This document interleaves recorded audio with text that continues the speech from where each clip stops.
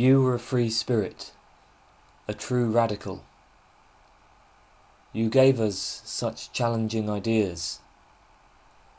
But like the forests you loved and fought for, your books are disappearing. You're gone, and now the jungle is your only home.